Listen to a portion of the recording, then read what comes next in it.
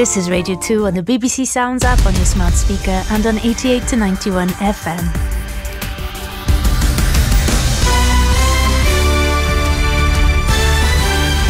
BBC News at 10 o'clock. This is Tom Harrigan. The Royal College of Nursing has accused the government of disrespect after a meeting with the Health Secretary Steve Barclay ended tonight without any progress in their pay dispute.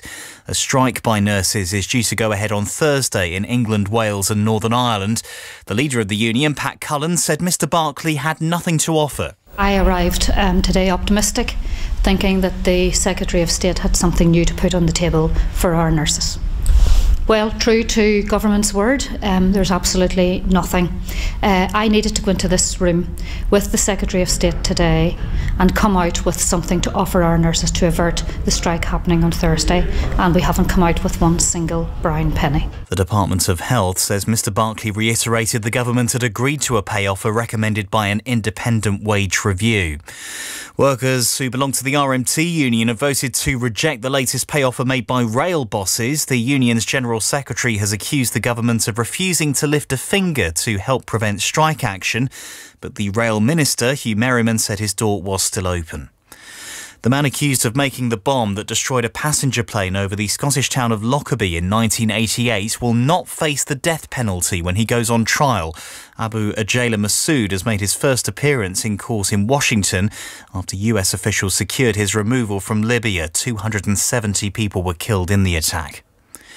Three boys aged 8, 10 and 11 have died after falling into a freezing lake in the West Midlands yesterday. Another six-year-old boy is still critically ill following the incident in Solihull.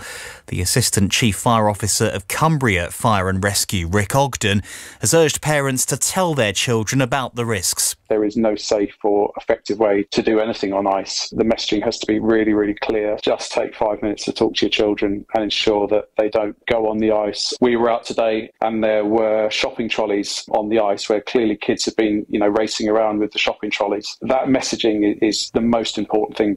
Officials at the European Parliament say democracy is under attack amid allegations of a major corruption scandal.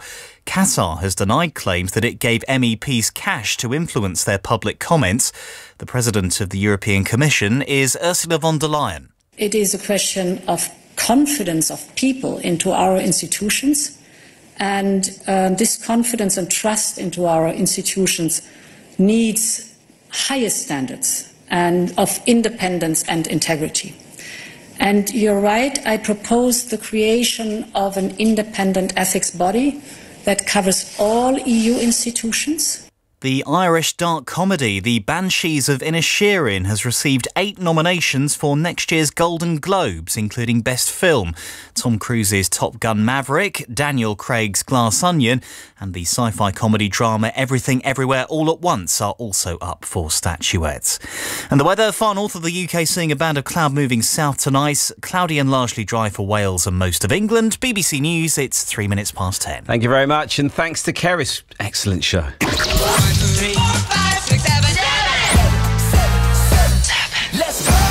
Trevor Nelson's Magnificent Seven. It's so cool to do a blues show, isn't it? Sounded great. Uh, welcome to the Rhythm Nation.